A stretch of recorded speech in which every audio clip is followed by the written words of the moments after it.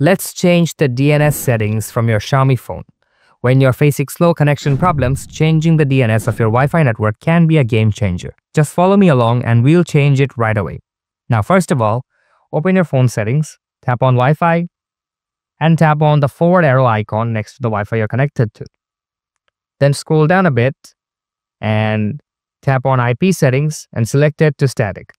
Once that's done, scroll down and make sure that your IP address, your router address, and your prefix length is set to its basic. Then on the DNS1 section, you have to change the DNS. So for starters, let's try the DNS number 1, which will be 8.8.8.8. After that, let's scroll down and tap on DNS2 and set it to 8.8.4.4.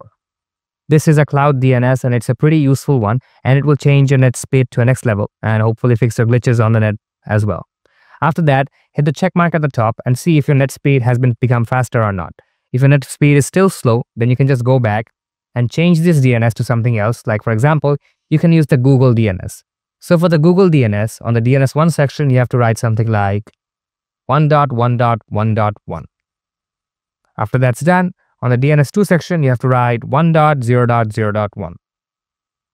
After that, hit the check mark at the top, and your DNS has been successfully changed. Hopefully this time your slow connecting Wi-Fi problem will be solved, and that's basically it. I hope you found this video helpful, and don't forget to give it a like and subscribe to the channel for more solutions like this.